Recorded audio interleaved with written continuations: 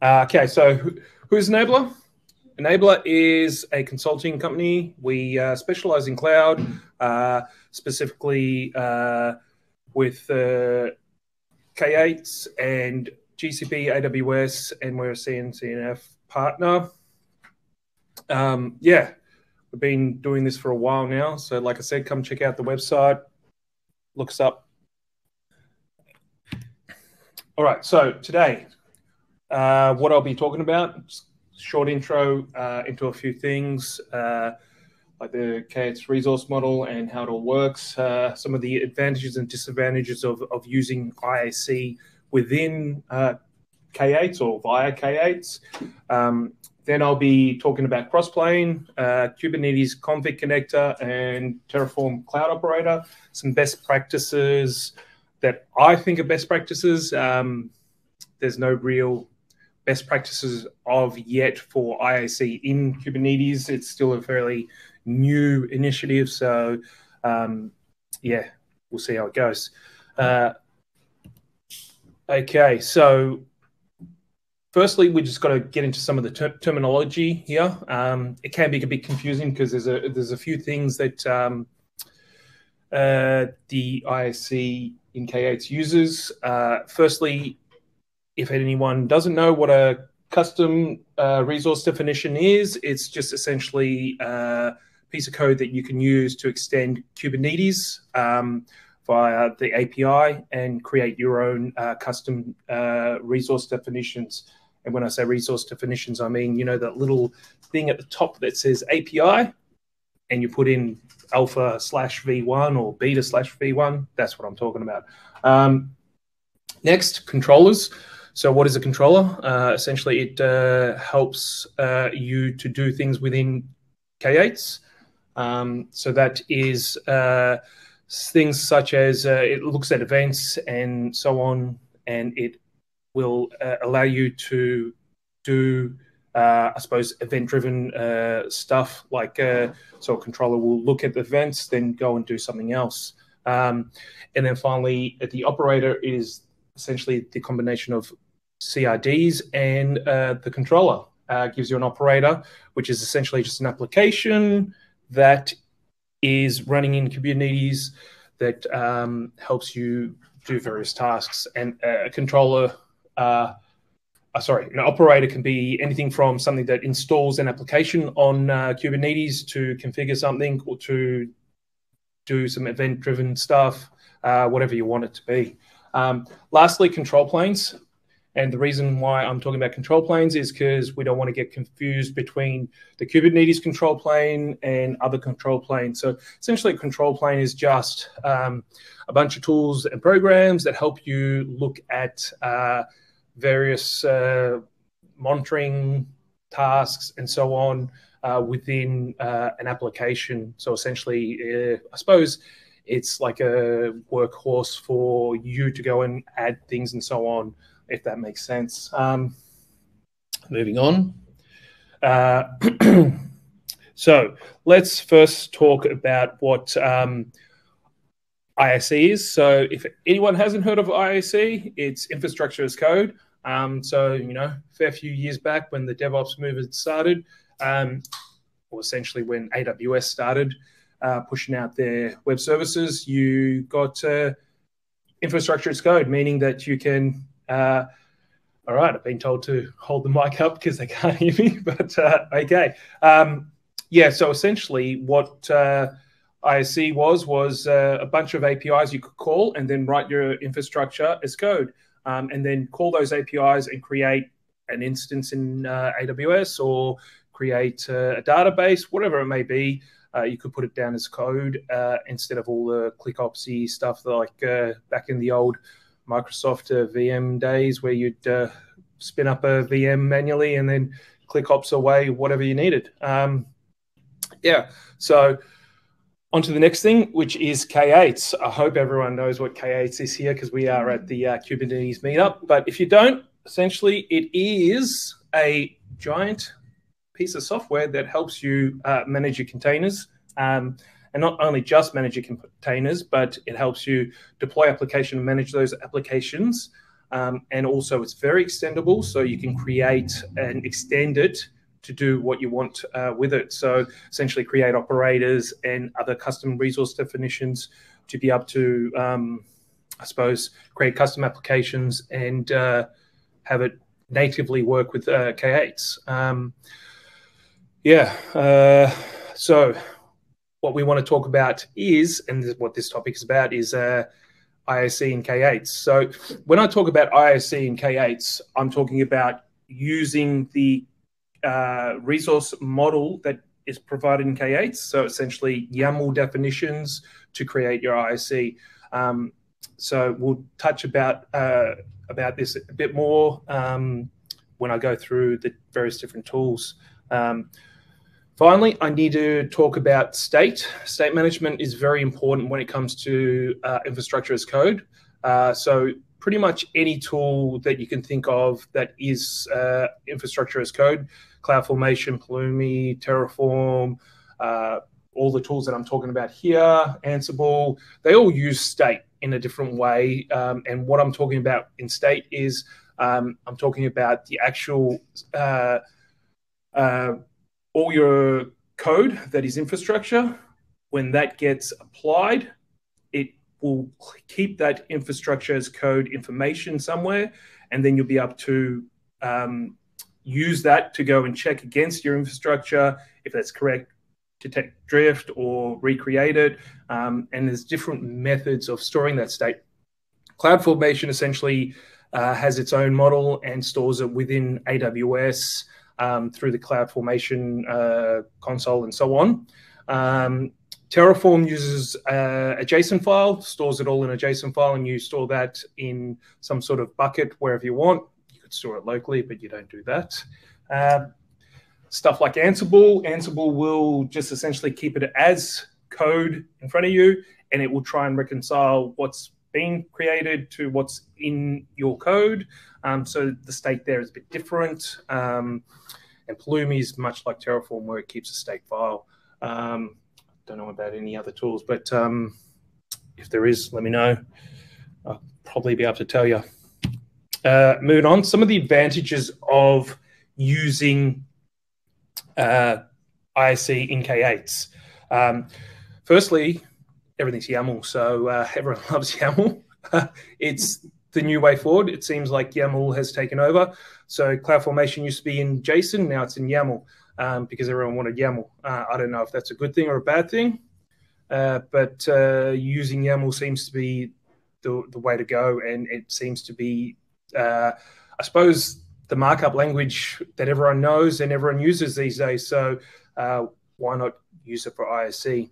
Um, environment progression, this is an important one. Um, when it comes to environment progression, traditional IAC tools, it can be difficult to, I suppose, give yourself some sort of environment progression where you go from uh, dev, non-prod, uh, to production, staging, whatever the environments are. It can be difficult to chain that all together using a CI/CD tool. Um, uh, I've tried it uh, in many places, and, and it gets complicated quick. Um, hopefully using IAC and K8s um, potentially could avoid that. Uh, one of the reasons would be uh, is that you've got clear defined environments, I suppose, when you use uh, Kubernetes, which potentially could make it easier to couple your infrastructure and those environments uh, going forward. But uh, so that, that, that is a, uh, an advantage, but also maybe a disadvantage too, because it can get very complicated quick. Um, K8s is very extendable. So if you're using uh, one of the tools, like I mentioned, Crossplane or um, Kubernetes config connector, um, it if you want to, you can additionally extend that or add extensions to that. Uh, for example, with Terraform, uh, you pretty much got what you got and you can use it. You can't really extend Terraform. You can extend K8s and add uh, applications to it. So that gives you a benefit there. Um, moving on to uh, some, sorry, my, my screen's a bit small. I can't see it, so I need to look at the screen. Uh, so the other thing is all the benefits of K8. So K8 is very scalable, um, self-healing. Well, can be self-healing for some places. Uh, and uh, like I said, extendable. Uh, you've got monitoring. You've got all sorts of tools available to you when you use K8s. Um, so that's a huge benefit uh, when you use a tool like Pulumi or um, infrastructure. Uh, sorry, Terraform, Ansible. You essentially just got the tool, and then you need to add in uh, various things like uh, CI/CD to then deploy all that stuff. With with K8s, you don't need to do that. It pretty much does it for you.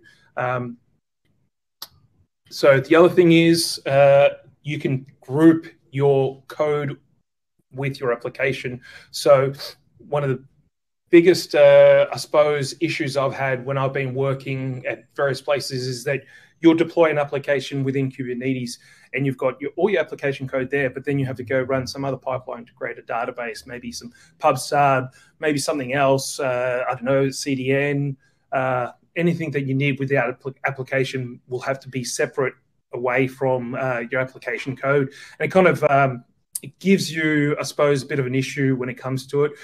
Your application might have to de- uh, depend on that particular uh, ISE code to be deployed first. Uh, if you use uh, ISE in K8s, um, you can bring it all together and you can do it all at once. And then you don't have to worry about dependencies. Uh, if something goes wrong and you wanted to redeploy it all, it's all there in one nice little group of uh, of, of YAML code, um, if you can call YAML code. Um, all right. Uh, finally, uh, not that I like to use this word, but um, it's a dirty word. Cloud agnostic. Uh, uh, in my opinion, there's no such thing as cloud agnostic. You can use tools, um, I suppose, to use multiple clouds. Um, and this is one of those tools too. So potentially you could use multiple clouds using um, Crossplane or, well, not Kubernetes can config connector, um, but Terraform and stuff like that. So potentially you can, um, if you wanted to, sorry, I'm getting a, a raising at the back. What's up? Yes. So, so one of the questions was about crossplane in, in the chat here was about crossplane versus um, Pulumi comparison. Can you talk a bit about that? If you don't know Pulumi, that's uh, fine. That will come up in the in, in the in the in a couple of slides time. So I've got an actual slide that's that's going through um, the differences or um, between IAC in in K8 and uh, and uh, traditional IAC. Um, but yeah, so back to the cloud agnostic. Uh, so yeah, so you can you can potentially deploy AWS, uh, GCP, Azure, all from the one place, um, which can be handy if you if you do use a, a multi-cloud strategy. Um, yeah. All right. Some of the disadvantages, uh, and the biggest one is it's K8. So it's it's very complicated. K8. It's not an easy thing to understand. It takes time to learn it. Um, whereas more traditional ISC tools are quite easier. There's not such a huge learning curve. Um, so you've uh, you've got to be careful there. Um, the other thing is that you need a cluster to run your ISC. So if you if you need a cluster to run your ISC, I mean you've got to put up some resources there. Um, but if you're already using K8s, then you're you're already in luck. You can you can go down the path of ISC and K8s but I wouldn't recommend just spinning up a K8s cluster to deploy your IAC. Um, another disadvantage is state. Um, and why I say it's a disadvantage within K8s is if you lose your K8s cluster, bringing your K8s cluster back with its state uh, is possible because you can back up K8s using uh, various tools like, uh, what's a tool called? Started with V you know it, Prateek. Velero. Velero. That's one of the tools that you can back up a cluster. All the resource uh, uh, resources that you deploy, you can back it up. Um, so it is a bit of a problem because restoring a cluster isn't simple. Um, restoring a bucket that holds your state is quite simple. Um, if you've got you know uh, backups turned on and version management, it, it's it's a lot easier. Um, yeah. The other thing is uh, um, the IAC structure. When you're structuring your IAC, it can be quite complex. Um, and when I say structure, I don't mean the code structure itself. I'm talking about the structure of, let's say, uh, when you want to create some org level stuff or some account or project level stuff versus other um, uh, different ISC uh, components. Um, when you're just using or having all your ISC uh, applications and sorry, when you have all your ISC infrastructure and applications together, it's it's easy. You, you can structure that. But if you're going to be going and creating all of your ISC uh, via K8s, it, it can get complicated, and it's just something to keep in mind. And it can be quite daunting when you have to uh, worry about all of that um, infrastructure within within there. Um, the other thing is K8's security is very complex, in my opinion. Uh, it's very easy to muck it up. Um, and if you're allowing uh, your ISC to have specific roles within K8s that give it enormous amounts of power. And when I say enormous amounts of power, I'm saying like, you know, potentially a role that has org access to all of your uh, accounts. Um, yeah, it can be dangerous. So uh, getting that model correct can be a bit more complex rather than uh, using a traditional ISC model. Um, yeah. Uh, all right. So this is the question that I'll be answering from before. Uh, K8s uh, versus uh, ISC, traditional ISC approaches. Um, so uh, to be honest, there isn't much of a difference when it comes to what they provide. Um, the they, they both pretend uh, they both have multi-cloud uh, providers, and when I say providers, I mean you know a provider for Azure, provider for AWS, um, GCP, or whatever other uh, providers you want. Um, yeah, Kubernetes provider, even potentially if you really wanted to go down that crazy level. Um, but uh, they both have multi providers. Um, when uh, both have uh, pretty easy learning curves. I, I think anyway, when it comes to just the ISC uh, part of the equation, not the K8s part of the equation. Um, uh, both have uh, large community support at the moment. Uh, so various IAC tools like Pulumi and um, Terraform, Ansible have a huge amount of uh, community support, and a lot of people know it. Um, it's, it's roughly the same with uh, with uh, Crossplane uh, and KCC. They're starting to really go up there. Um, the other thing is uh, state management. It isn't that much different, um, essentially. It, it's still roughly the same. It's just a matter of how it's stored. Um, so, really, there isn't much of a difference. The only difference really is one is in K8s, um, and K8s allows you to do things like, you know, GitOps um, and, and deploy every, all your ISC through K8s. Uh, and traditional ISC tools, you'll have to go and uh, get another CI/CD tool to go and deploy your ISC. So I think that's one of the main differences there. Um, so yeah.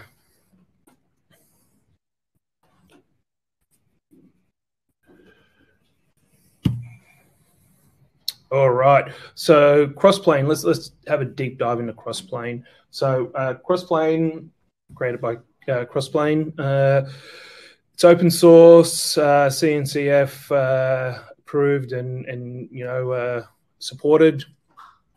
Um, and uh, how it works is that uh, it uses a group of CRDs, operators to provision, deploy, and control, um, and essentially reconcile your ISC uh, through the operator and uh, through your controller and your custom uh, resource definitions. So essentially, what you'll do is install a operator um, within K8s. Um, and then you'll go from there and it'll set up uh, and you'll be able to start setting up your ISC as code with YAML. Um, one of the things that is important to note um, is Crossplane is essentially installed into K8s and one of the recommendations that uh, Crossplane actually have is to install uh, your Crossplane into your application cluster. Um, and I'll talk about that in some of the best practices in a minute. But um, you, you, don't want to have a separate cluster just for your ISC. Um, yeah, moving on. So uh, one thing I've got to say about Crossplane is that it's a uh, a multi-provider platform. When I say multi-provider, like I said, AWS, Azure, um, or Azure, uh, I should say, uh, uh, GCP, uh, probably other things like F5 devices or whatever you could think of, um, has a lot of different providers. Going over to uh, KCC or Kubernetes Config Connector, um, it's only for GCP and GCP only. Uh, so you can't actually use this particular um, ISC through K8s uh, for anything else apart from GCP. It also was created by GCP and open source by GCP. Um, it was part of the Anthos suite and still is part of the Anthos suite within GCP. Um, so you essentially have to pay quite a bit of cash to use it in GCP if you haven't used uh, Anthos before. So just again, as as same as uh, Crossplane, it uses a controller um, to connect, uh, to install, configure um, your CRDs and your controller. Um, and then once again, you're able to then create uh, your ISC through YAML. Um, I'm not a huge fan of uh, this particular one purely because it's uh, a single provider um, uh, tool. Uh, if I was to choose between Config Connector and uh, Crossplane, I would go Crossplane. Um, also, it's tied to uh, to um, GCP quite tightly, and it's controlled by GCP, and and it's it says it's open source, but uh, really the overlords are GCP.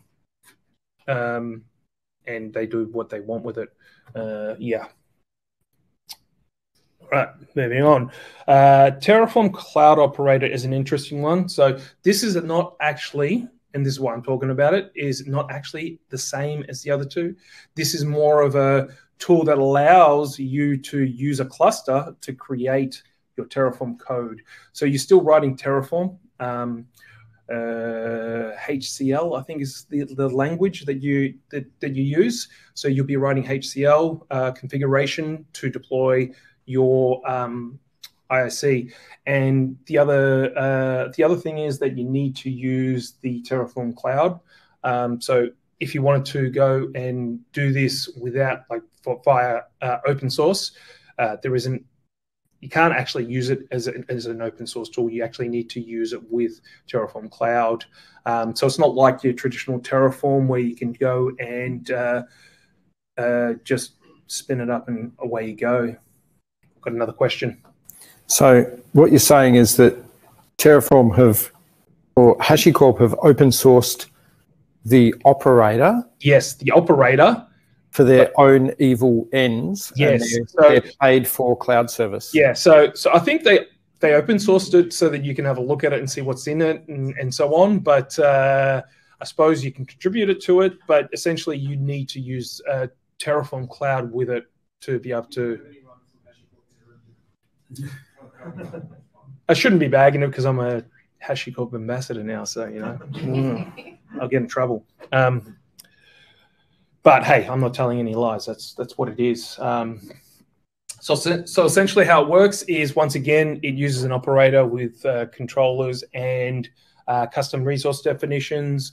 You deploy it, and then you submit your code to Terraform Cloud. Then Cloud then pushes it into uh, your K8's uh, cluster and creates your um, code. So really, it's not the same as the other two, and I wouldn't really call this a true ISC within cloud, um, and that's why I called it out because it kind of is confusing and kind of a, a bit of a lie when it says Terraform Cloud Operator. Yeah, it's an operator, but it's not the same as the others. I think it's a bit of a wolf in uh, a sheep's clothing. Um, all right. Moving on. Best practices. So, looking at some best practices. When should we use ISC in K8s? And I've got some strong opinions on this. Uh, I know Prateek has, uh, and a few other colleagues have. Um, I'm not a strong believer that we should be deploying all of our ISC through K8s. Um, it has a place, definitely, but I wouldn't go and say, "Hey, I'm going to spin up a cluster and deploy," um, you know, a GCP org and all the projects underneath it, or uh, an organization in uh, AWS with all the accounts underneath it. It's not something uh, I would use it for. Uh, what I would be doing is essentially using it as a tool to help me couple my um, application code with my infrastructure. So if I had a web application and I wanted to create a database or a CDN, stuff like that, I would use um, this tool and that's how I would use it. Um, yeah. All right. So once again, how to structure IAC. It's very important. Um, I could go on about this forever because it's very important when when you come to uh, how you structure ISC. And when I say how you structure structure it, I'm talking about segregation from other applications. So within um, Kubernetes, you really need to understand the best practices of Kubernetes too. So when do you use a namespace? Do you use a namespace for everything? No, you try and segregate your namespaces into application groups potentially or uh, other ways. Um, when do you use uh, secrets versus config maps, so on and so on. Um, there's a lot of best practices that you need to look at for Kubernetes as well as ISC. Um, and both of them, I could probably do uh, a full presentation on them. So I'm not going to get too much in depth with it. Um, lastly, environment progression. And when I say environment progression, uh, so I would be talking about having multiple clusters, potentially multiple. Uh, I don't know if you'd have multiple control uh, planes for uh, Crossplane. If you did, then you could potentially do environment progression in the way of I've got a dev cluster, I've got a non-prod cluster, and then I've got a prod cluster, and I'd be deploying my ISC with my applications into each one of those, and then each application could potentially then um, have its environment progression. So I deploy an app to dev, uh, do my testing or whatever into non-prod for staging, make sure everything's running all right, and off off to production. And that, that's a really easier way to um, do your environment progression. When it comes to tools like uh, Pulumi and uh, Terraform, it can be a lot harder to do your environment progression. You really got to plan it out. Got another question. It's not a question, it's a comment. Yeah, comment. So in Pulumi, they have this concept of like cross stack, like you can mix stacks. Sure. Right. You can get yourself into a mess really quickly. But if you use it properly as part of your code deployment methodology. And how many times have you seen it used properly? How many times have I seen any of this stuff used? Properly? That's right. It's the same as Terraform. How do you how do you see like I've I've gone through different different companies. I've been at a, a lot of different companies with ISC, and one of the things they never get right is the whole environment progression problem. Uh, I, I, really believe that this particular um, tool, which is ISC within K8s, could solve some of those problems. Um, yeah, but I, yeah, I, I, I take was, your point. Yeah, I was actually including Kubernetes in that Sorry? When I, when I said zero, I was including Kubernetes. Oh, okay. there we go. Hey, hey, hey. All right, now I've talked about this before, which is the one of the important ones. I don't think you should be using K8's uh, ISC and K8's purely deploy all all of your infrastructure. Um, you're going to get into a mess. One, uh, you're going to have issues because you're going to have a lot of permissions within that cluster. And uh, security in a cluster is quite complex. If you don't get it right, uh, potential uh, for you know one namespace accessing another namespace or users accessing uh, another user, people accidentally getting access to service accounts they shouldn't, uh, all sorts of stuff like that. Um, potentially, people don't even do any security in uh, K8s, which I've seen too. Um, and then you go and deploy this, and then people can access uh, and do whatever they want, which can be potentially quite dangerous. Um, so I would strongly suggest segregating by application and, and using your traditional ISE tools um, to create some of the higher level objects that you need within your cloud. Um, finally, security concerns, which I've been talking about continuously. Um, so when it comes to ISE, regardless of um, traditional ISE or ISE and K8s, you really need to think about how to segregate those uh, service accounts or um, how to segregate your IC. So essentially, you don't want um, having a pretty much a God access, uh, you know, service account that can potentially give you access to everything. You want to segregate by either level. Like for example, I, have got a service account uh, that will only do org level stuff.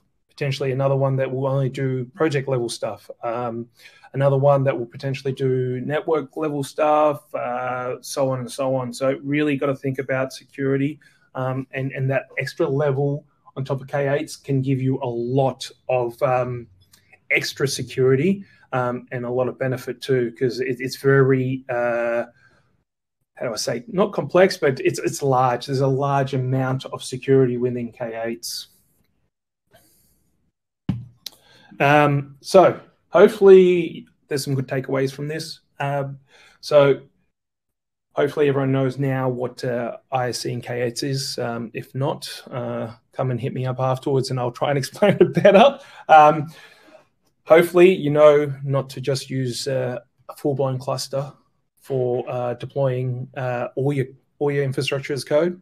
Um, and then uh, some of the pros and cons of, of using um, ISE and K8s and of course, best practices, which really is still ongoing, I guess. We'll see what happens in the future.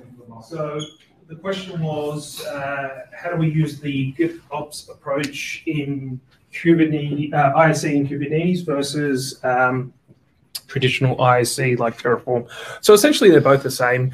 Um, the only difference is you're going to be looking at setting up with, with your traditional ones like Terraform, um, you're going to be setting up a CI/CD tool, which is going to do your um, GitOps. So you would look at tools like Flux or uh, Argo CD.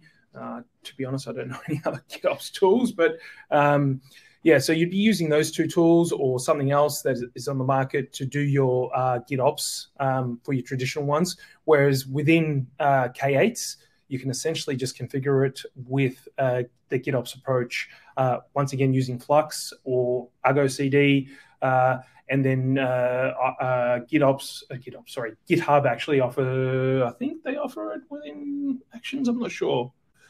Prateek, do you know that one? GitHub Actions. Does GitHub Actions offer offer GitOps? Not directly. No, no not directly. Sorry. They sort of do. Okay, so then so then maybe that's another approach. But yeah, essentially they're both the same. So there isn't much difference. Um, it's just how you configure it and how you set it up. Uh, any other questions? I'll set up my laptop while you take questions. Yep.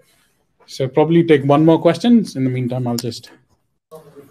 So the question was, uh, if you were to use Crossplane KCC, something like that, um, do you need more resources on the cluster? Um, essentially, you should be always doing capacity planning on your cluster anyway. Um, I mean, Kubernetes is great and it's very scalable, but there is an endpoint to your scalability at one at, at the end of the day. Um, so yes, you should always be doing it, regardless of if you're doing ISE within the cluster or not. Um, you should always do do some capacity planning, um, and I would strongly suggest uh, looking at the doco and checking what uh, Crossplane or KCC uh, needs you to do um, for capacity, capacity planning. Um, but yeah, definitely yes. Okay, time to hand over to Prateek. Mm-hmm. So just, just before we do, um, yep. I just want to thank uh, our sponsors for tonight. So, Sirius People, as Asmita is up the back. Say hi. Hi. They're actually pretty fun people. They're not all serious, but they are serious people. Oh, Sorry. She's very shy. I, I did say to her, you have to go up the, the front, and she didn't want to. So we'll embarrass her from the back of the room. So, Sirius People are a recruitment and talent specialist in Melbourne, in Australia. Um, so, if you're looking for a job or you're looking to hire and grow your team, they are the people for you. And they have sponsored tonight. They put on the pizza, they put on the drinks, they've corralled these two guys together and put them in headlocks and made them present. So this is really important, you know, because it's part of a community and, um, you know, community is important to me personally, but also to these guys, right? Uh, Prateek's going, well, me too. Yep. But that's why you're here, man. Right? so, you know, we, we really do thank um, you guys for helping make this possible, giving us this space, paying for stuff. Thank you. Right? Couldn't do it without you, man. Cool. Can everyone hear me okay? Yep. Awesome. Um, thanks, Simon. And yeah, we definitely really, really appreciate Sirius People sponsoring the event because, as Scott said, we are a community, um, and to you know host these community events, you need support of our partners, and Sirius is one really helpful, always willing to host kind of partners. All right. So um, I have to stay here. Sorry. Yeah. So, all right. So this topic of what we are going to talk next Sorry. is Kubernetes and where does it fit? And it's pretty much it comes from a little bit of my philosophical ranting when I do when I go to client sites and and I see broken Kubernetes installations. I mean, none of our clients have broken Kubernetes installations, but uh, it's it, it comes from there. And it literally, a lot of us, even Simon and I, have this conversation a lot of times where we sit back and say, wow, what are people actually doing wrong? And when we go through this, honestly, take some, the intention is for you folks to take some food for thought. Turn your camera on. Okay, that's a good idea.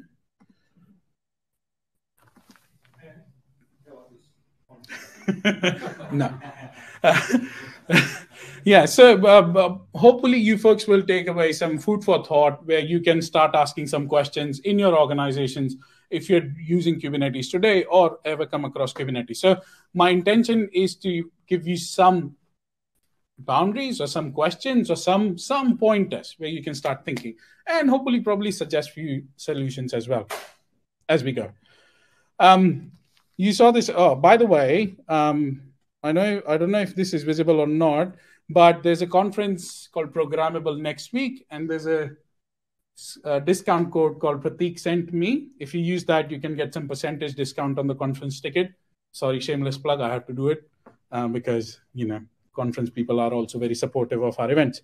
Um, anyway, so let's go through this. Let's go through Kubernetes. Let's go through where it fits, and hopefully we can come to an understanding. And then I'll also talk about genesis of something called Educates. It's a new initiative at Innablr um, or from Innablr, and I'll give you a very brief idea about what it is. I promise it won't be a proper sales pitch, but um, cool. All right. So who are we? And again, one slide about Innablr. We are cloud engineering and platform consultancy. Um, Melbourne's, uh, I think we were the first Kubernetes certified um, partners or providers. Uh, but long and short of it is what all of this means is over the period of last many years, we've been building clusters, cloud uh, cloud platforms, and everything at many many places, including large enterprises. And we ha- we know or we have like a blueprint or some ideas what bad might look like fine. Everyone is still finding out what good will look like but what we absolutely know what bad will look like. So we can help you um, avoid those pitfalls. Um, so the way we will do this is we'll go through the history of kubernetes. Let's go to the very beginning go through the journey figure out what kubernetes is then finally try to understand where it fits. Now all of you i expect all of you to know all of this by heart by now but still let's just go for a common baseline right? So the history of kubernetes is early circa, let's say 2002, uh, Google was using Linux process isolation. They had their own internal mechanisms and they used to use something called process containers. Now, Google folks were very, very smart, very smart people. I never doubt that. Very smart people doing this madness with process containers. They they were they, they invented this system called Borg. I think all of you would have heard about Borg. It was the first ever container runtime. Again, at this point, it was internal to Google. It wasn't outsourced, open source, outsourced, open sourced, uh, but it was internal to Google. And I think Borg came around came about around 2005 ish. But the issue with Borg was there was a lot of custom tooling that was created after the fact because it was not properly planned. It was just let's create it. Oh, it actually works. Let's create a lot of tooling. Then Google went through more iterations and then they created something called Omega. And Omega became this very well planned thing, which was not working. So the irony is, the Borg wasn't very well planned, but it was working. It is still what GCP and Google is based on. Whereas Omega was very well structured, decoupled architecture, everything was microservices, nano services, even, but didn't deliver the promise, right? And then the small um, company which started, um, which was called Docker Inc., we have a representative from Docker as well. Um, they just brought container to masses. They went, you know what? You lot are doing this process container. We are going to wrap it in an API, make it consumable by everyone so that normal developers like me can just Docker run, Docker, whatever. And they brought it to the masses. And as if an explosion happened, the world, world went berserk. We were packaging everything in container after that. I even knew a guy, I mean, I know the guy he was he used to transfer video files by packaging it in a container. I'm like what are you doing? Have you heard of this thing called usb but that was the madness of containers. But the beauty of it the flip side of it is it, it provided you a unified interface. You could be writing java you could be writing python whatever have you. Word docs for that reason. Um, but you can package it in one single way. You can package it in a container start moving that container wherever you want it, right? Was unified. There was no different way of doing it in Java, different way of doing it in Golang. There was just one kind of way. Um, and it attracted, it was very DevOps, developer and operations friendly. At that point, we were still going through that developer operations silo, chuck over the fence kind of a situation but it was friendly for both. Because as an operations engineer i was like wow in production i don't need to worry about this java version whatever blah blah blah. I can just run a container. As a developer i went i can control my dependencies by myself. So it was very friendly. Again an explosion. Um but the question was okay fine so many containers how do we manage? Because literally look at that diagram below. Everything was now being packaged as containers. And i kid you not everything was literally being packaged as containers. Like people were spitting containers at the speed of light. That's just too much. Um, and then suddenly you started seeing this shift in infrastructure industry as well, where we instead of hosting VMs, obviously, now we started running containers. Cloud providers started to build their container engines, and this container orchestration came about. Um, and around DockerCon not around, or in during DockerCon 2014 is when Kubernetes was announced, right? Again, the reason I'm going through this history is just to set the baseline, and maybe we will figure out where Kubernetes fits. But it was a rushed release. Google knew they had to release it, or else AWS was going to take over the world, right? So they released it. And you will not believe this. Today, we know how complicated Kubernetes is. But in that release, it was just replication, load balancing, and scheduling. Like super, super basic version of what Kubernetes is today. Today, it's a behemoth. It was absolutely plain as simple. And I don't know how, how, if you folks have ever looked into Kubernetes' source code, go have a look at it. It still reads like Java because they were rushing. And it's written in Golang they were rushing, so they just ported Java into Golang, open source release. So if you go and have a look, there, there is actually one file. I, I used to remember the name of the file, I don't anymore. But there's one file which has around 1,000 lines of if-else ladder. If else, if else. You just look at this and somebody tried to write enterprise Java here. But anyway, again, going back to Kubernetes. So yeah, it was released, but the purpose of it was very simple to provide orchestration capability to containers replication, load balancing, all of that, right? But eventually, eventually, and we know this today, it became, it evolved into a container orchestrator of choice. It is sad truth, honest truth, whatever you want to call it, it is container orchestrator of choice. Now, each cloud provider today has a managed offering. Even the likes of AWS, they came up with their managed offering, EKS. Um, Kubernetes is open source and CNCF governed, but jury is still out. Is it Google or is it CNCF? Anyway. Um, but if I were to, again, when people ask me what is Kubernetes, yes, it is a container orchestrator. It's a tool that you can run in your cloud provider, whatever, whatever. But when I think about it, it's a framework, right? something Simon said earlier as well with controllers and everything, you can extend it. That's why it's a framework. You build your internal platforms based on this framework. It's not just install Kubernetes and all your problems go away. You will not achieve world peace by just running Kubernetes. You have to make an effort, build something around it. But as, as I said, the beauty is it's extensible in nature, it's API driven. You are not uh, fiddling with databases or whatever, just API calls via, uh, via CLI. That's what Kubernetes is.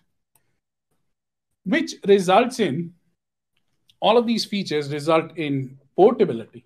Portability meaning you can schedule a container on wherever you can run a cluster of Kubernetes, you can run your container.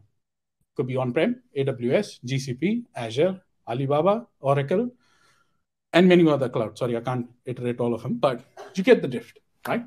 Gives you that portability. As long as you can run a cluster, you can run your application workloads. It gives you resilience against failures, right? Um, if your workload, you deploy your workload to Kubernetes, it fails, Kubernetes will look after it which is where the workload management and scalability comes into picture. But the end of it, it's all API driven. That's the key.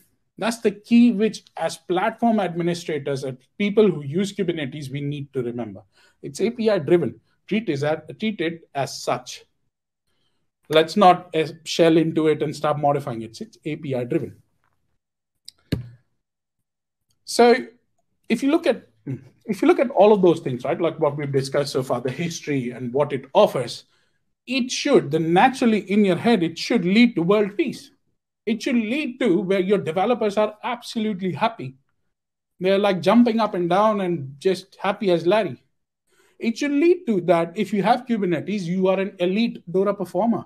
For folks who don't know Dora, Dora is kind of like the industry standard framework, which as Simon said, I can do a talk in, on its own, but we won't go into it. But you can be an elite Dora performer. You can have super happy engineering teams because whatever, all the things that we looked at about Kubernetes, it means our team should be happy. We should have scalable, secure, and resilient infrastructure. But, but, and this is the sad truth, right? What I have seen in many places, and trust me, I've been to many places, I've done many analysis or uh, uh, well architected analysis assessments of clusters. But what I've seen in many places is you end up with this. People just want to have everything. The ecosystem is growing immensely, and it is not wrong. And by no means I say that having any of these tools is bad. That's not what I'm saying. But ultimately, what we end up doing as platform administrators or Kubernetes administrator, we go after tools need to install this tool, this tool, this tool. Okay, all right, it's not working. Install another new tool. Tools will never solve all the problems. Tools are also never the problem. Yeah. So why do we why why why why do we do it? Why do we literally do this? What drives this? My belief is, and this is my belief, my opinion. Please don't. this is no detailed research. Is somebody said it in a conference that go run Crossplane or go run this new tool or go run that new tool. That's literally how that ecosystem has grown. And unfortunately, and this is very, very unfortunate, what it leads to, where we get to, is complex developer experience. People are confused. We've got tons and tons of tooling. People are confused as to which one I'm using, how am I using, what's my consumption interface. So, for instance, if I have a Java application which is ready, containerized, I want to run it in your cluster, which of these 10 tools do I need to go and configure, set it up, observability, uh, security, and all of that? Because we've been building a complex ecosystem. We are thinking from inside outwards. We need more tools, more tools.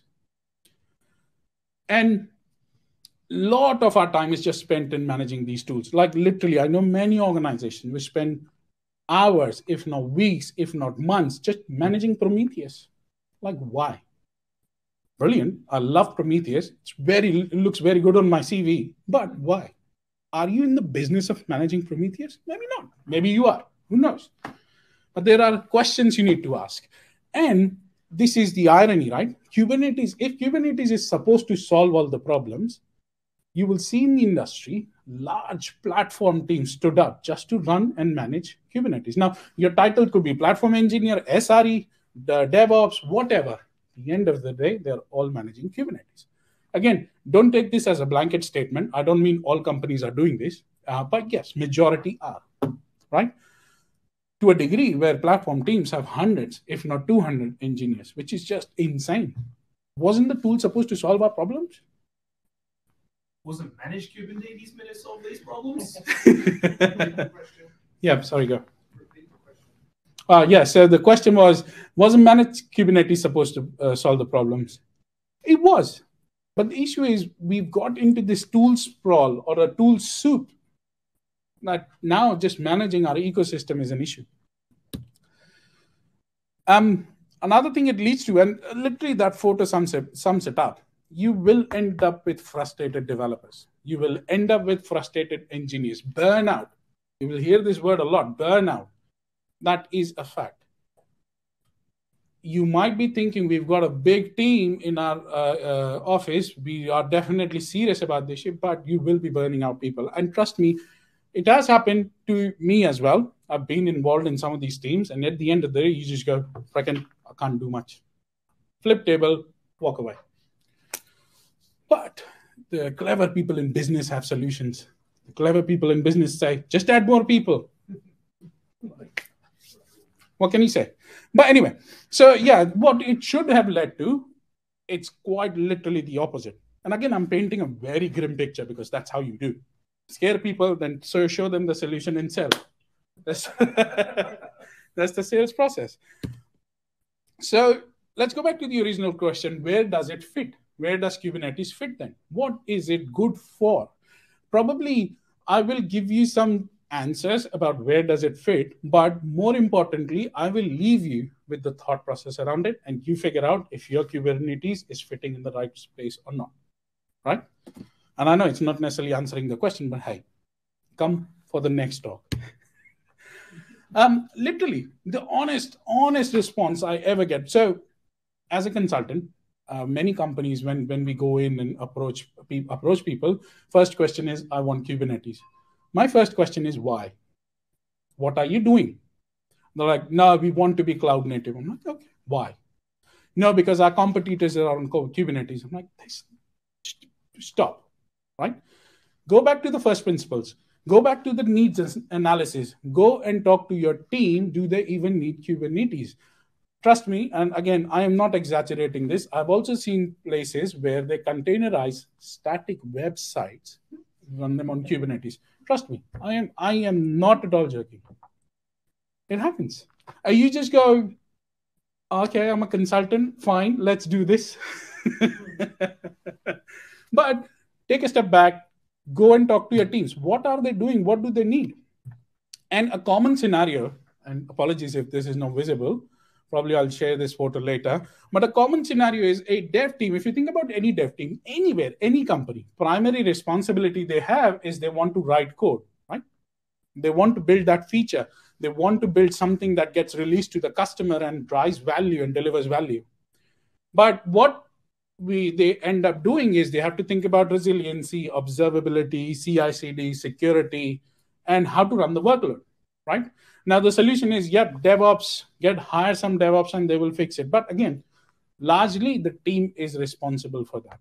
Now, if one dev team is solving all of this, you, you folks have worked at many organizations, right? Or would have been or are working at organizations. No organization has just one team. You'll have multiple teams that will have similar requirements, right?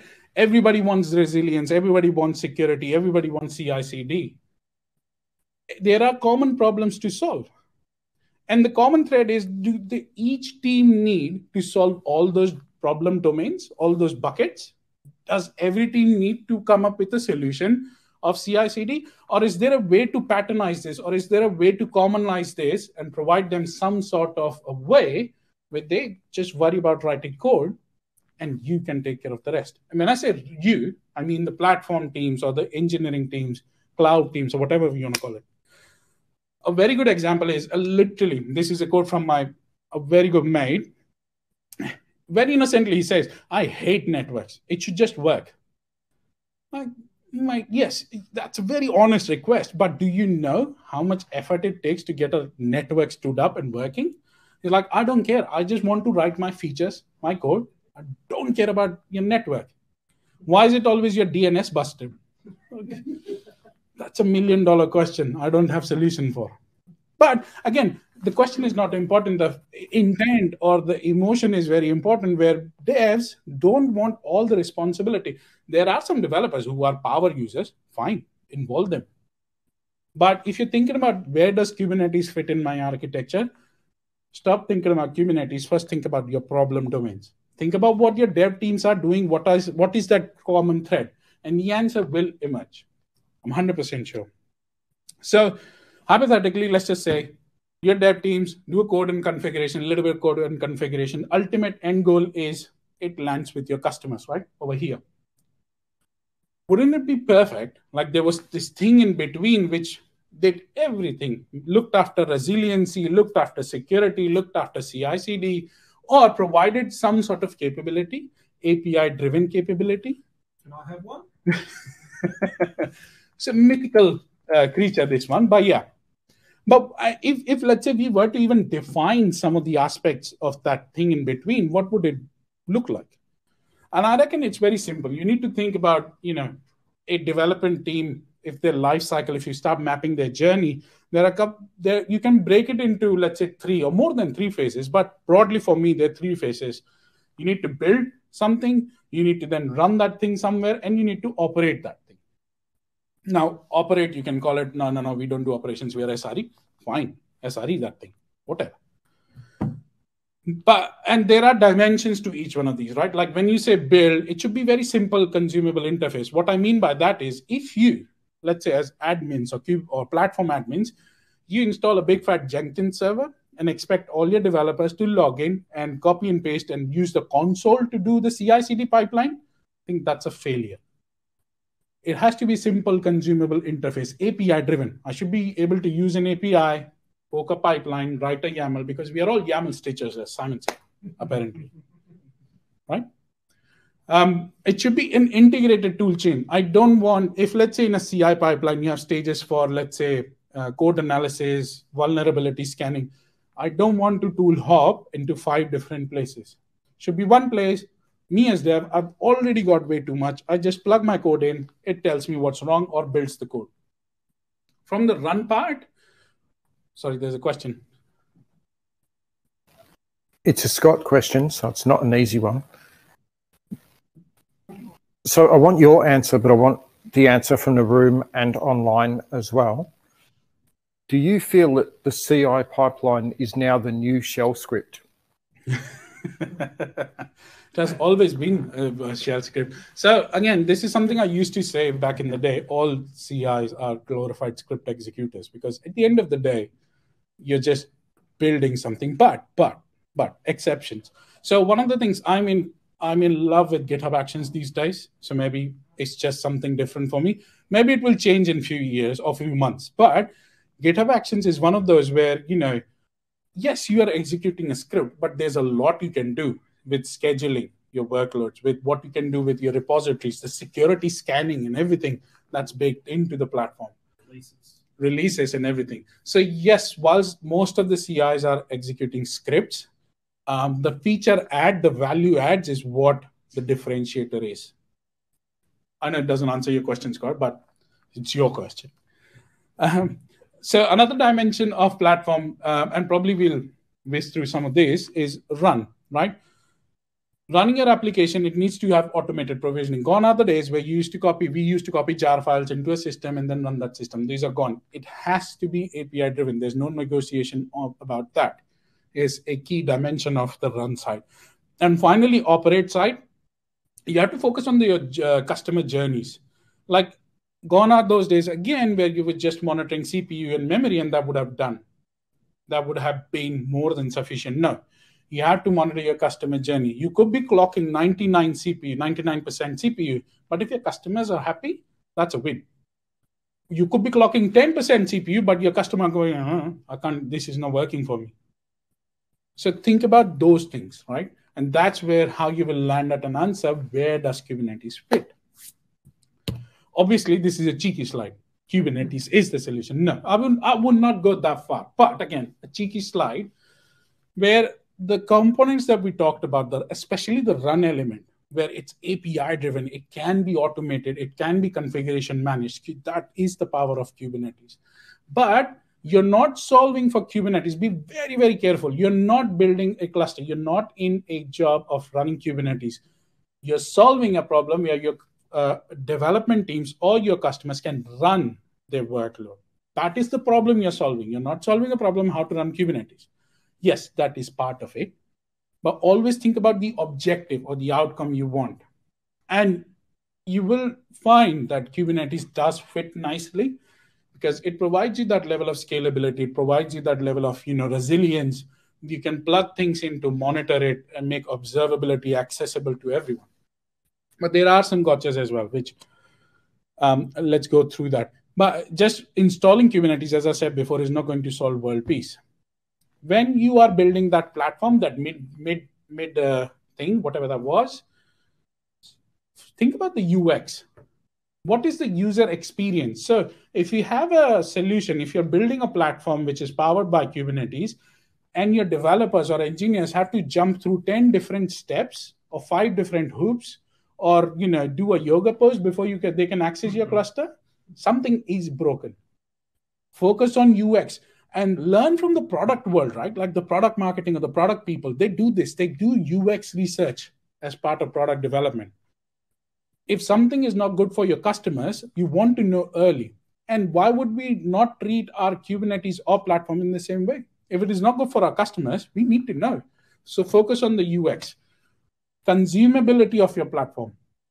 You said we have a platform. If no one can access it, or you're going to air gap it somewhere, or you're going to put six or seven different restrictions on it, which just breaks the purpose of it, then how are you expecting people to interact with it? It's a question. Again, as I said, there will be more questions that I'll give you than solutions. But these are the questions you need to go and ask. That's how we will land in a solution.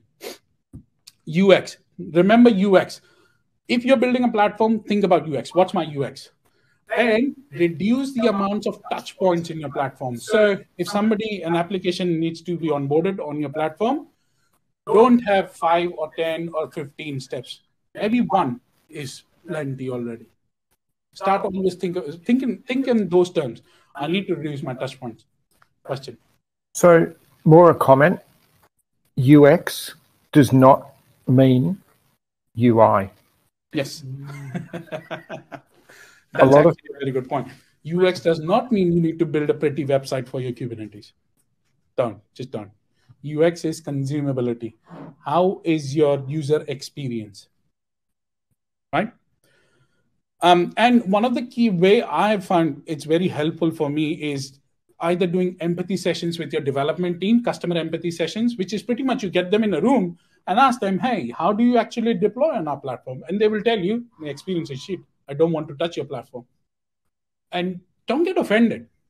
That's their feedback. Then you start drilling into it. Okay, all right, what are the problems? How can we solve it?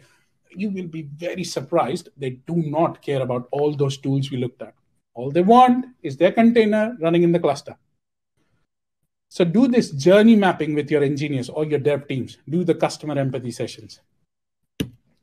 Um, ooh, duplicate? Yeah, maybe duplicate. Yes, it does fit nicely. Um, think about abstractions, right? Now, this is a kind of a more philosophical one, but Kubernetes is complicated plenty. It is absolutely complicated. It's not easy. And if you expose your internals of your platform or cluster to your dev teams and expect them to learn everything about Kubernetes, it's going to make their life very difficult, right? So what do I mean by that is, let's say if you have an application or if you run a cluster or own a cluster and to deploy to this cluster, someone needs to create a config map. Let's just say you're running Istio, right? Somebody needs to create all the configuration for Istio. Somebody needs to go and configure all the configuration for observability, like a ELK stack or whatever. There's a lot that people have to do, and they have to understand how it works. My recommendation would be build an abstraction around it. Give them a single way where one single YAML or some sort of CRD can be helpful for them, and it will create their app stack. Or maybe create Helm charts for that matter, application Helm charts, where they can just provide some configuration and generates all the YAML. But please, please don't force people to learn Kubernetes. I don't. I run the meetup and I've been running training as well. Please don't force people. They will start hating you.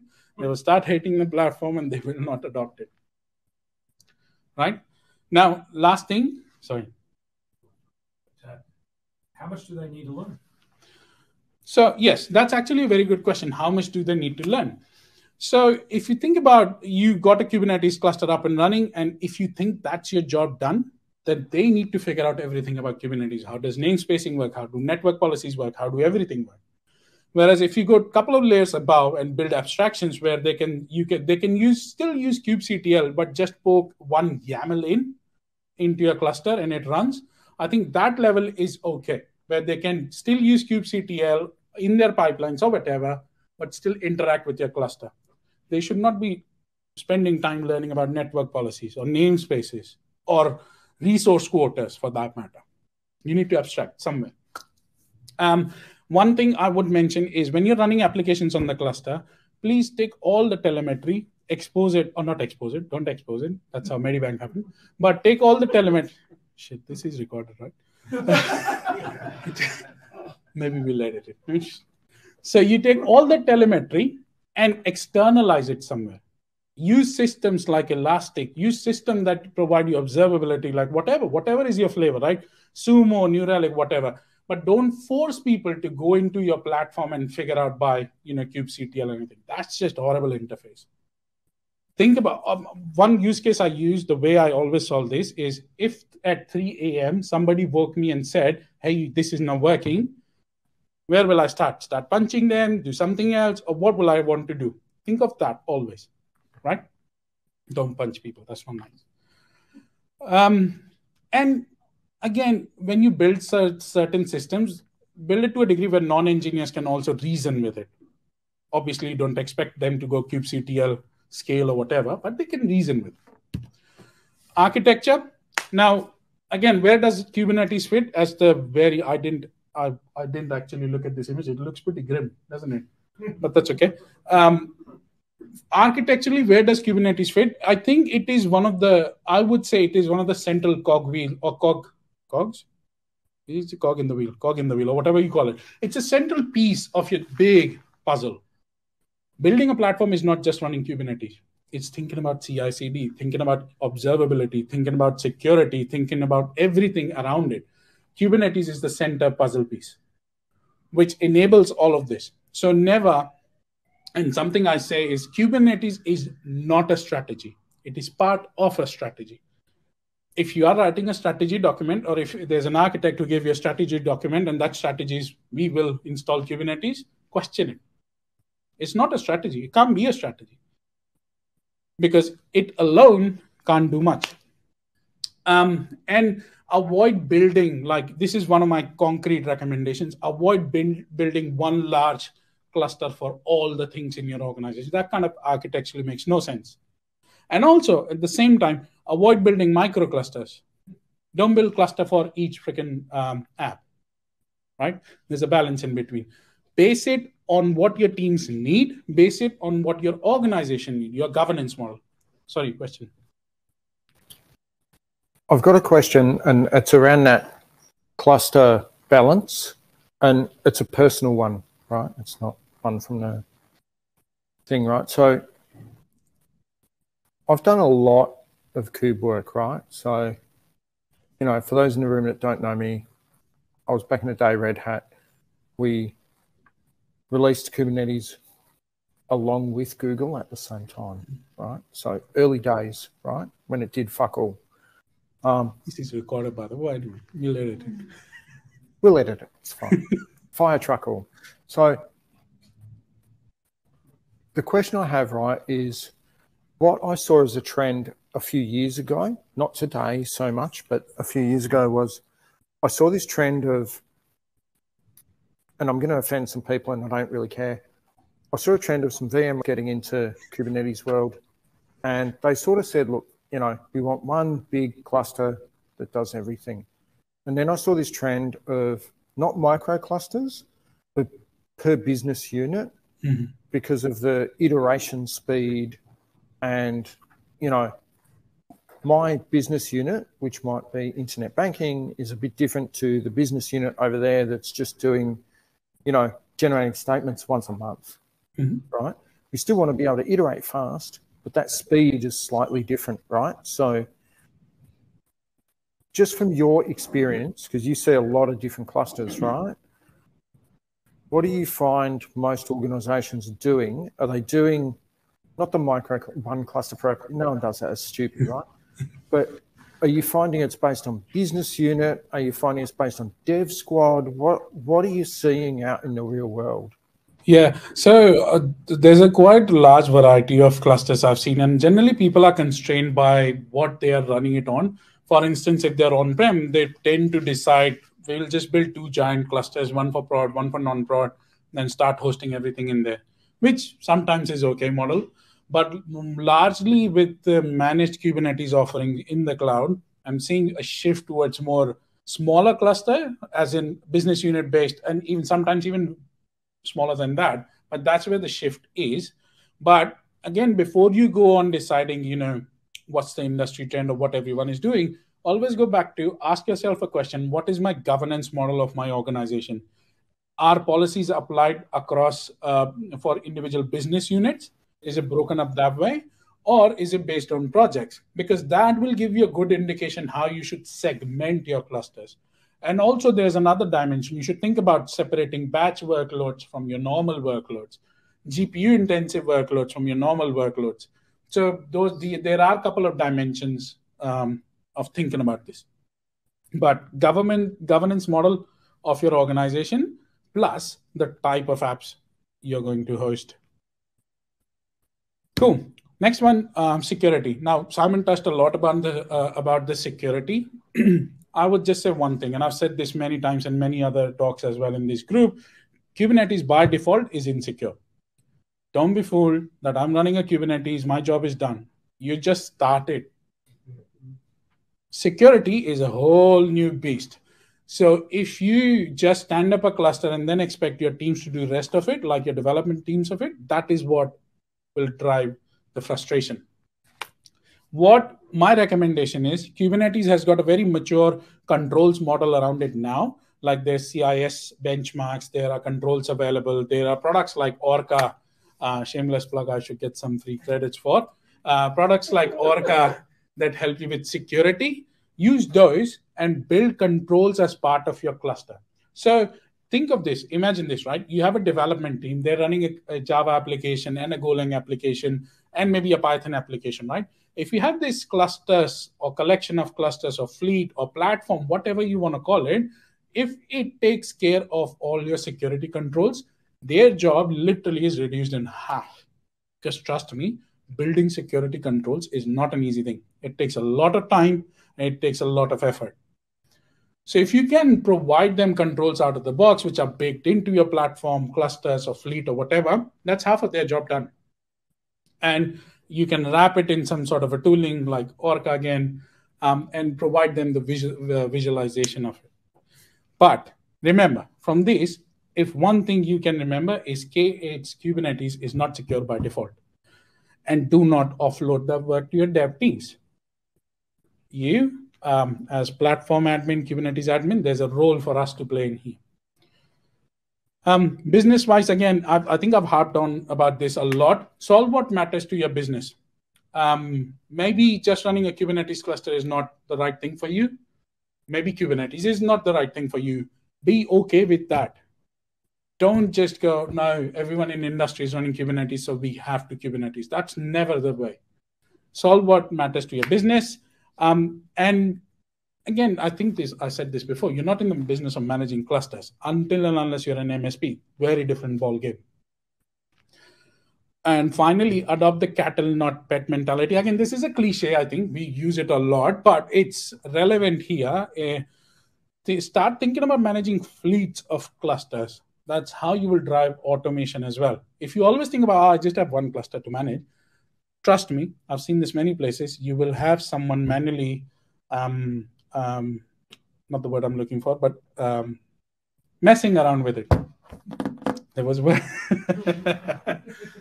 Um, so think about building fleets where you're destroying clusters at will and you're automating as much as you can.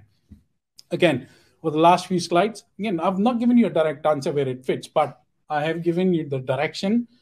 Go ask yourself where it can lead. Sorry, question? How many times have you seen clusters get blown away and recreated at will? So the question is, how many times I've seen clusters get blown away and re- uh, recreated at will? Not as many times as I would like. So why? First of all, the question is, why should you even do that, right? And again, in my experience, I've seen when you create a cluster, anything that lives for longer, again, not talking about humans, just for computers, they start accumulating side effects. A cluster, if you leave it running for years, it will accumulate side effects. And by side effects, I mean a very well-meaning engineer will go in and like, let me just create this God mode role because there's an urgent problem I have to fix. They will do it and then forget to delete. That's a side effect. Now think about the vulnerability there, right? Well-meaning folks do this. So if you are in the habit of destroying your clusters, recreating them, you can ensure this side effect does not accumulate for long.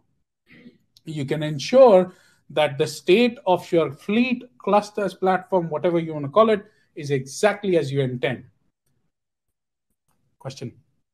It's not a question. It's just a comment that appeared in the chat um, online because we've got like 30 odd people online, right? So the actual meetup is twice the size of the people in the room, right?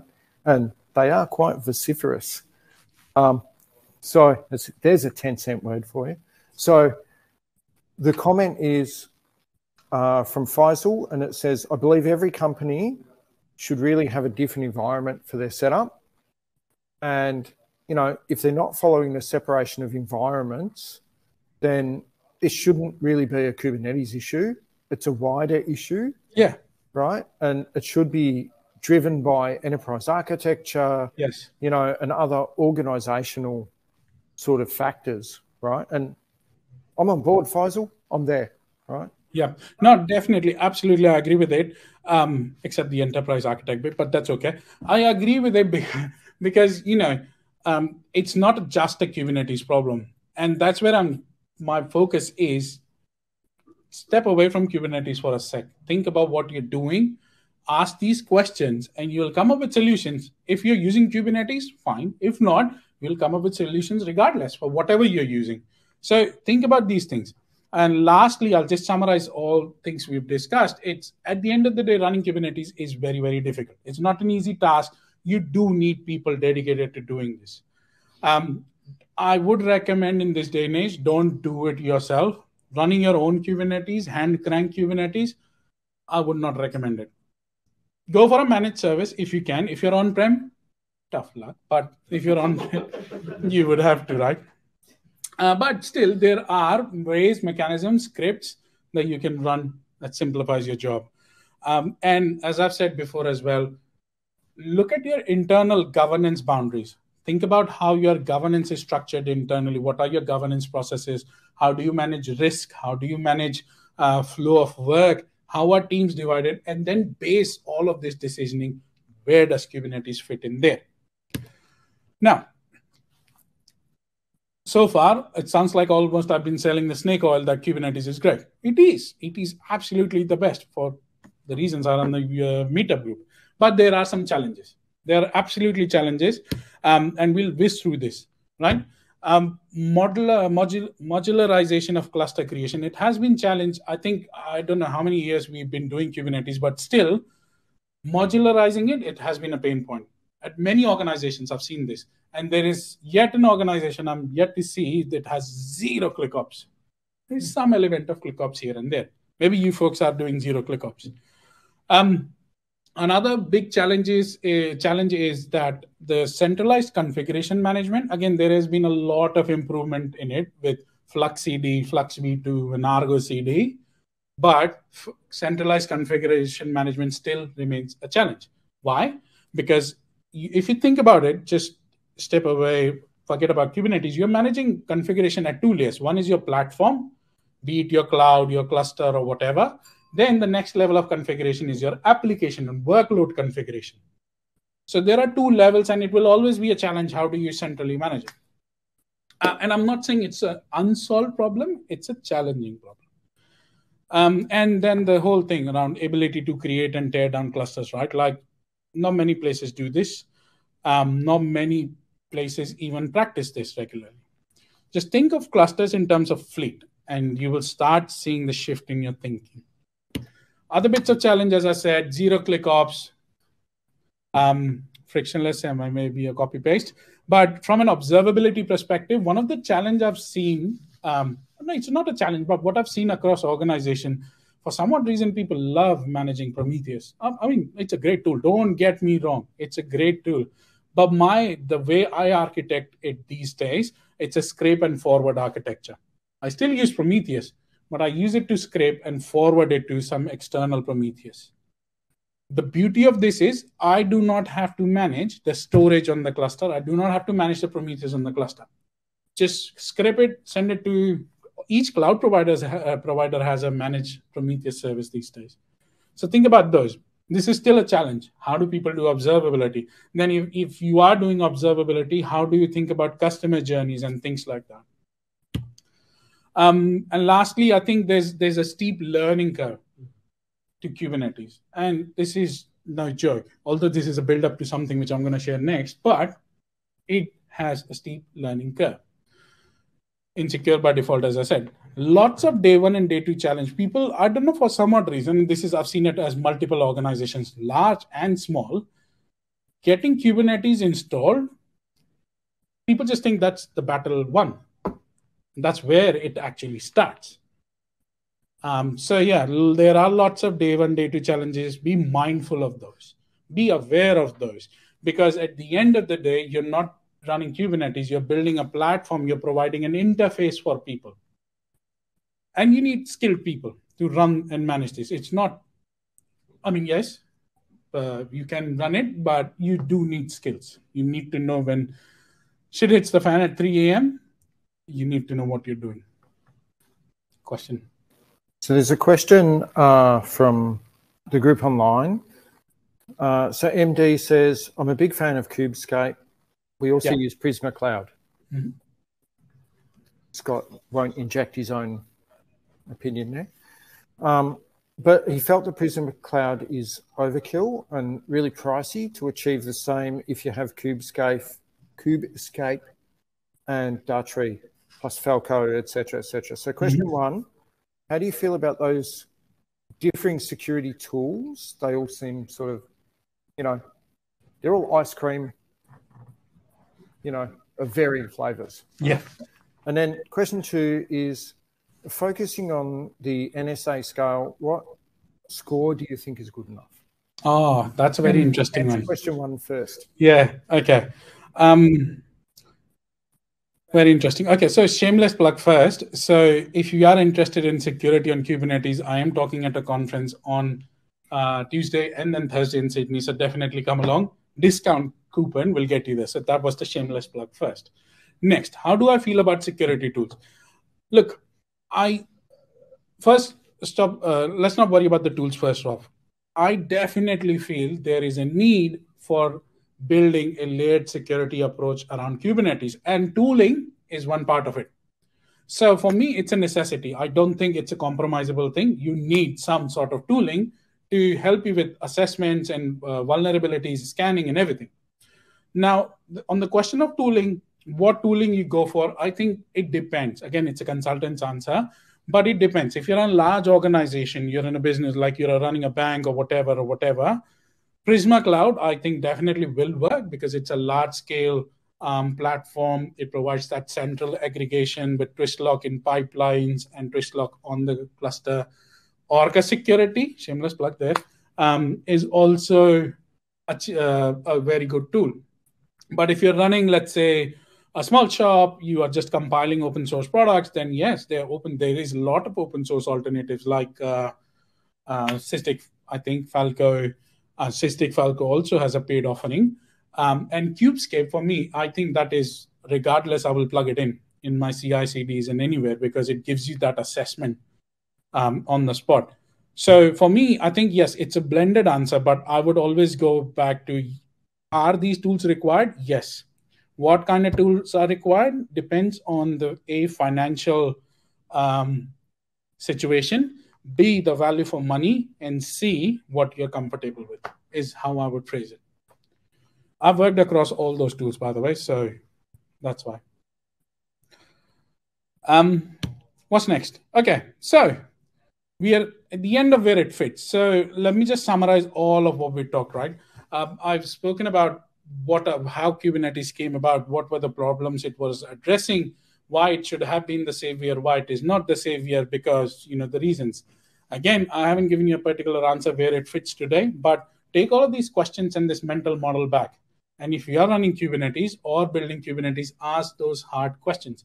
What are the problems we are solving? What do our customers actually want? What is the journey of our engineering customers through our platform?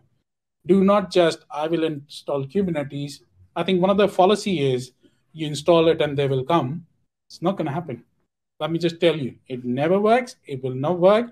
So please do not just install it and they will come.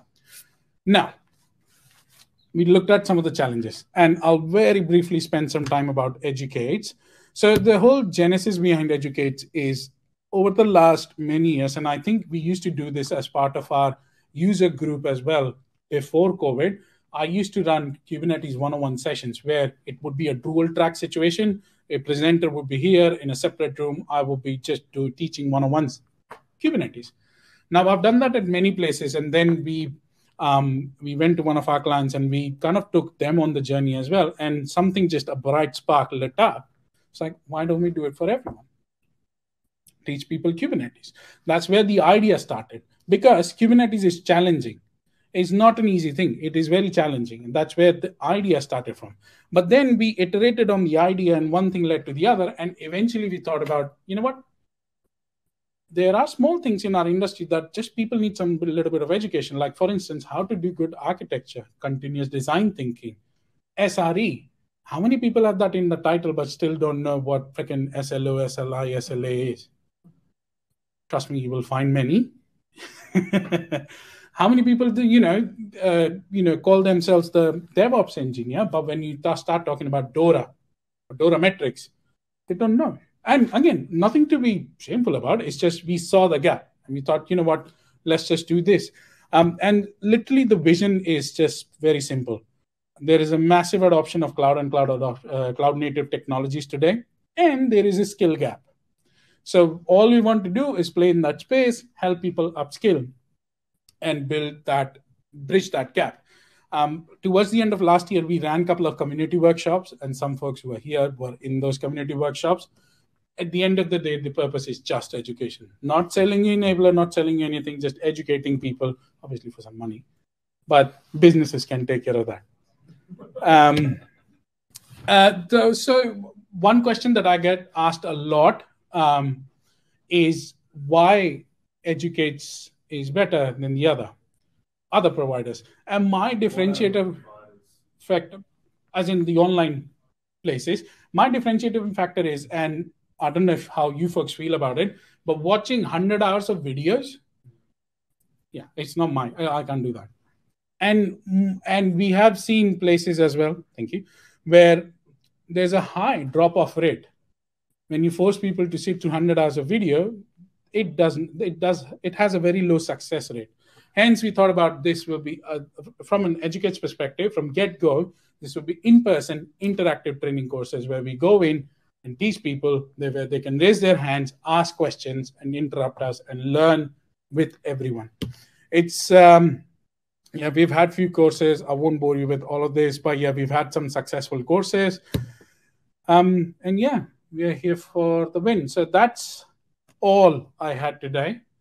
Kubernetes and then slightly pitching eduk8s. But yeah, thank you very much. What level do you need to be to do this? eduk8s. Um, Repeat you the could be you could be you know very tricky question so the question is what level do you have to be to um, what level do you have to be to join eduk8s or do eduk8s course it's actually catered at all levels um, beginner level eh, expert level because it comprises of hands-on labs which are built from experience of what i've seen in the industry. Funny enough one of the organizations reached out to us and they're like a vendor organization and i created a course kubernetes for pre-sales. Kubernetes for pre-sales. I did not in my life imagine i would do that but i did that. Because if everyone is adopting kubernetes you need the knowledge to go and have a con- conversation with people um, there's one new one coming up which i call the kubernetes business and sales essentials same course just different spin rinse and repeat as they say so that's the answer question Can I ask that question? Not so much a question, but just a comment. Um, so thank you. We love it. It's awesome. I think there's another real question, but when that's done, I will just talk about our second sponsor of the night. So for people who are online, do not leave. There is a chance to win stuff. yes question Yes, it's working It's working. it's working, right? Yeah, yeah. So um, I want to know more about that the consulting things. So according to your experience, what we, what what was the other the most demanding area in QB for the consulting? For example, uh, in small scale company or big right. company. Yeah, I, not sure it's sensitive to share. Yeah. Yeah, very interesting question. So the question is, I'll just repeat it for the sake of it. Um, the question is, and correct me if I got it wrong, from a consulting perspective, where's the most demand for Kubernetes? Is it in small scale, um, high, large scale enterprises, and things like that? I'll split it into two parts and answer it in two parts. From an adoption of Kubernetes perspective, my what I'm seeing, there's a broad spectrum adoption. Every company of every scale and size is looking to adopt Kubernetes. Obviously in the startup world there is less because they have smaller applications. Serverless should be their go-to and i advise against kubernetes for startups anyway. I mean depends on your workload i guess. But largely speaking there's a broad uh, spectrum adoption everywhere uh, from a uh, consulting requirement perspective larger uh, and again it depends on each each scale of organization has different worries. Like large enterprises especially after the medibanks and the others are worried about security. So we get a lot of queries around hey can you come and have a look and inspect and do an assessment? Are we secure or not? That is the big concern and that's how most of the um, area of operation also in larger organizations not every organization does it in the right way um, what I mean by that is you will see certain organization we're still struggling to get it off the ground. They can't get adoption. People don't want to adopt it. And the reason for that is what we covered in the talk. Like build it for the people what they want. Just don't stand up a cluster and think people will come and run their apps. Um, for smaller scale organizations, what I've seen is, and this is very interesting, though, but for small scale organization, security is not front and center. It's kind of like a secondary concern, what I've seen. But for them, it's mostly about scale, observability, uh, DevOps maturity. So that's where they're using Kubernetes and get us to help them out in that regard. Answer your question? Oh yeah, I think it's yeah, I think just yeah, showing uh, showing your experience. I think yeah, that's fine. Brilliant. Cool. Um, Repeat what he just said. Oh yeah, no. So yeah, that does answer the question. Is what I got. Any other question? Question at the back.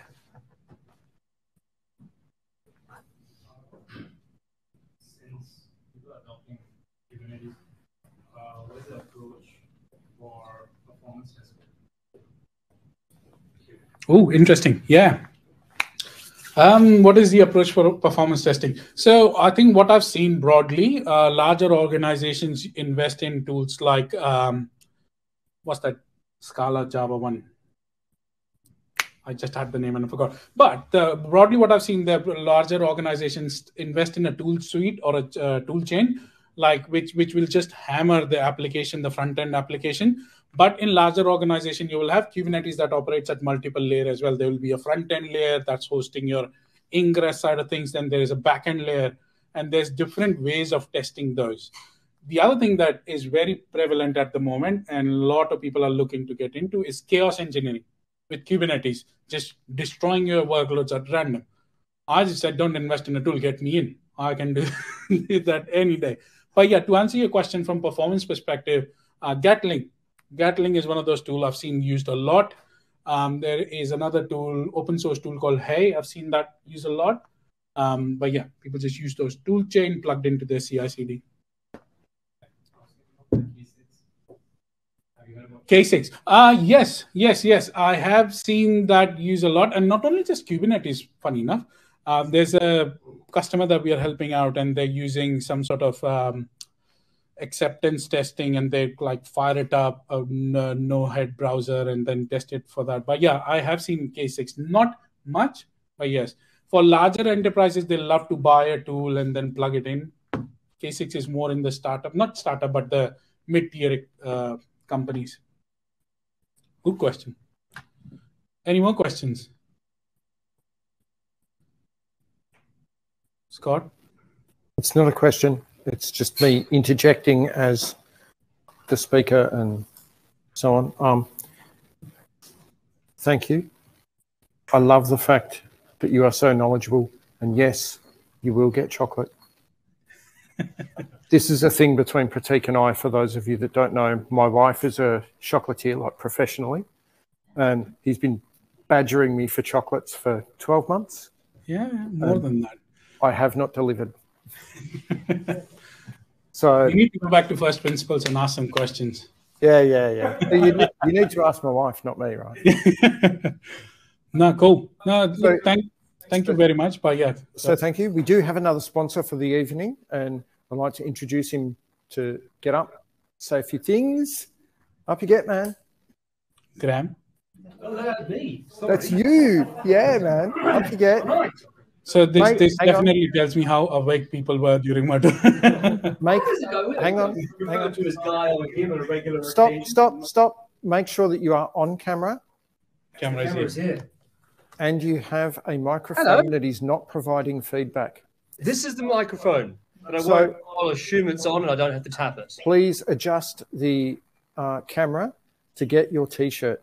So, oh, right. Uh, yeah. You're and that will tell the one? people who are online. Hello. Where he is from. He so, for those playing at home, my name is Graham. I work for Docker, which is very exciting. We haven't actually had a contingent in APAC until about two months ago. So I saw this pop up and reached out to Stephen and then the organizers. And um, obviously, everyone's been so gracious to have me along. Thank you very much. Um, it's a great session. Um, and thank you again to Sirius People for having us all here. So I wanted to come along, say good day, uh, you're going to see a lot more of us.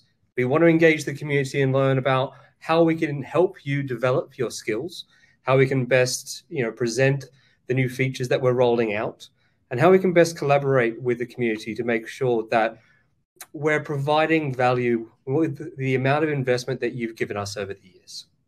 As a first step to that, I thought I would come along and uh, give away a little bit of swag we don't have a lot. We've got oh, there's the smiles in the audience.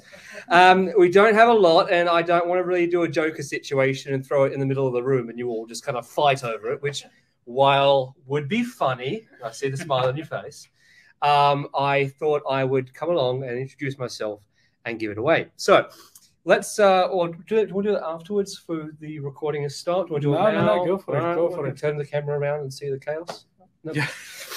So let's uh, let's do it this way. I've got a couple of shirts, a cap, a couple of pairs of socks, and some stickers. And for those playing at home, I'm sorry, stickers. Oh. Sneakers. This is if Docker starts making sneakers, then I'm I'm I'm all in. I'm all, yeah, exactly. Oh, get get Kobe on the line. That'll be good. Yeah. Um, so I, I, I let's start simple. I'm going to ask a couple of questions. Uh, first of all, can I have a show of hands in the audience who uses Docker? Never heard of it. Okay, right, we are disqualified. You don't get any stickers. I think I've already given you one though. Uh, I was going to say, raise your hand if you use Docker Desktop. Okay, a few of you, a few of you. All right, I'll make. Uh, marketing's going to ask me to ask this question, so I'll just throw it out. This is for a T-shirt, potentially a pair of socks, depending on your answer. So make it good. Uh, first, want to put their hand and tell me two reasons why you like using Docker. Anyone? Okay. Oh, gentleman here. Yeah, portable. You're portable. Yep. Second, second reason you like using Docker. Yeah, um, I can do the instant uh, uh, development for things I can to speak about. Yeah, compared to know Innotate, I need to ask about there's some operator and then to speed up a computing. Yep. But with Docker, I can immediately to do even that in 2, 2 a.m. in the morning. Yeah. So the ability to use Docker at 2 a.m. in the morning, um, I think as well to run applications and ship them to using any environment. Yeah. All right, you get a T-shirt. Okay. You're welcome. Um, now for a T-shirt, cap, and socks, pop quiz. Docker just released a feature in 4.17 build kit that allows users to uh, have a software com- uh, composition analysis, including dependencies and also software bill of materials. It then also provides you with accurate uh, vulnerabilities and then remediation steps. What is this feature called? Released in 4.17 recently. Does anyone know what this feature is called? Get on the Google people. Google. All right. Multiple Uh, choice. What is it? Multiple Next, choice. next question. Next question. That was a hard one. Okay, okay, okay. Yeah, you Or- can do all right. multiple. Okay, multiple choice. All right, we'll go, we'll give out multiple choice on this one. Is it A? I've got to think of multiple choice answers now. A, uh, Docker. Not this one. Si- That's a good one. Is it Docker uh, Scout? Is it Docker Siren? Or is it Docker Pod? Raise your hand and give me an answer. You've got a 33% chance. You don't count. and I think Scott's just raised his hand for another reason, so that's confusing. Um, anyone have a guess? This is for a shirt, Siren. a hat. Siren. B. Siren. Siren. Scout. We have, what was your name, sir? Nathan. Nathan. Congratulations, Nathan. It's good to see that uh, Google's equivalent to ChatGPT, ChatGPT in their search engine is doing strong. Um, Docker Scout is the correct response. Download it now in the 4.17 build kit. Um, so I will Uh, desktop only or desktop and hub. okay. mm. Yep. Desktop Hub, it is an early stage access. So it is obviously uh, just starting out. The features will be rolling in, but it's a very exciting step that we're taking. Um, so I will organize those. Thank you again for having me. You'll see potentially a survey come out uh, to try and get engagement as to what kind of topics you would like to see from us, from our champions, and from Docker in particular. So we'd love your engagement. Thank you very much. You're going to be talking at the Kubernetes meetup? And the community, if I'm invited back, You'll be Oh, absolutely. I mean, I please, I've got all kinds of like whale puns I haven't even thrown at you. Let's hear one then. Okay, well, I, I can't containerize my excitement, and uh, well, what you can't? No, you can't mock me now. You've asked for it. no, no, my mistake. Sorry, You my bad. No, Next. no, no. You only get you only get one. No, I'm going to save them. Thank you very much, everyone, and thank you for coming. And uh, I'll see you next time. Oh yes. No, you got to raise your hand. I think you're trying to get my attention. no, yeah, for, for the folks who are online, thank you very much for attending. And thanks, Cam, for Oh, my pleasure. being a sport and, you know, providing the swag. So, yeah,